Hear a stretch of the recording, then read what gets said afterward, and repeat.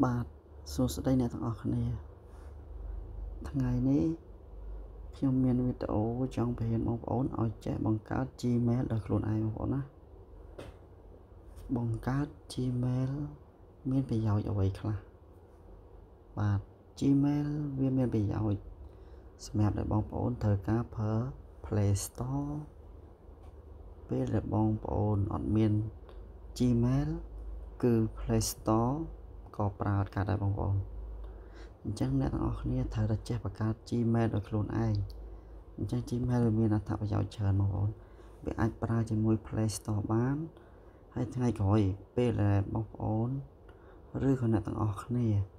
ចង់មើលវីដេអូជាកលឹះល្អល្អហើយចង់ចុច Subscribe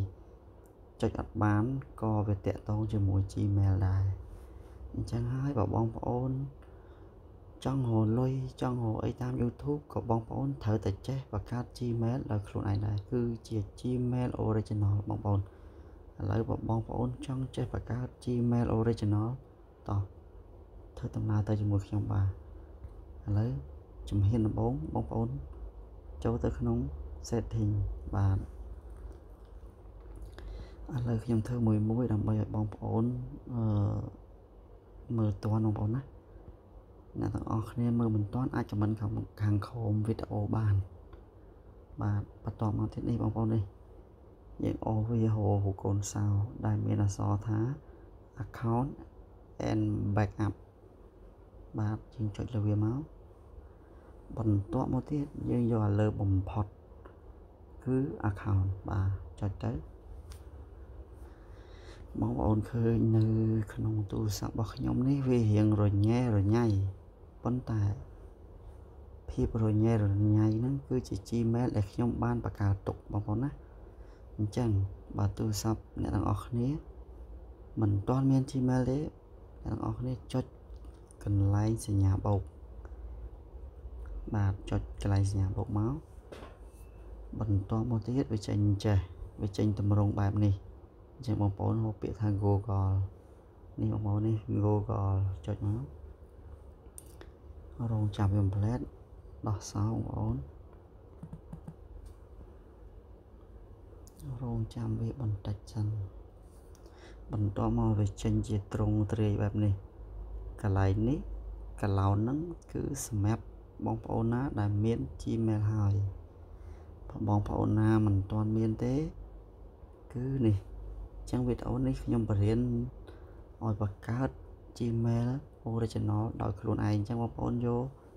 នេះ create account នេះមកបងប្អូន បាទចុចលើវាមកបោចបន្តមកយកលើទៀតមកបាទ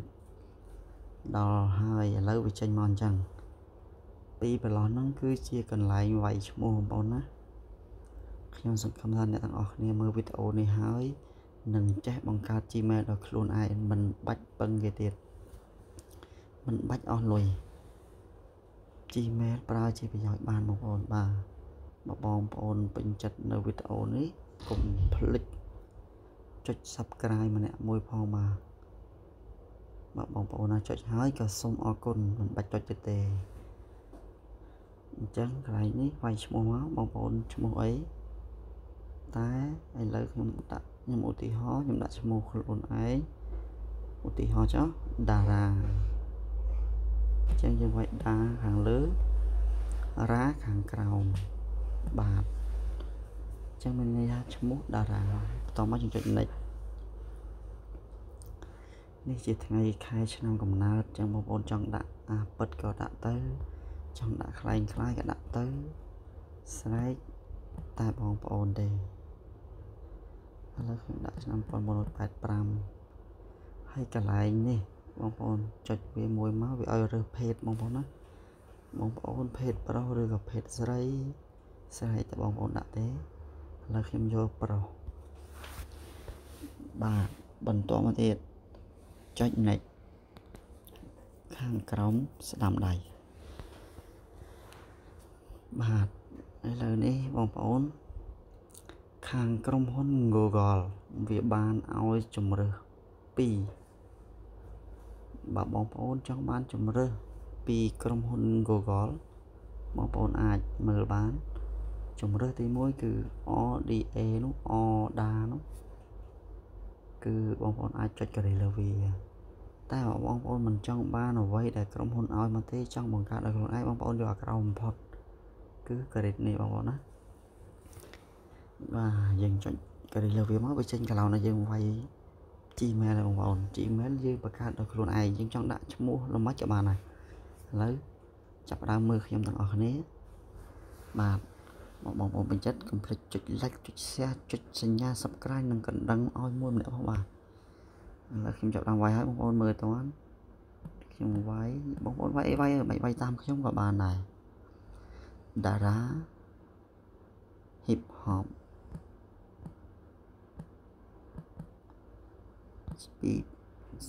dot 2020ខ្ញុំដាក់ថាតារា hip hop dot 2020ណាបងប្អូនណា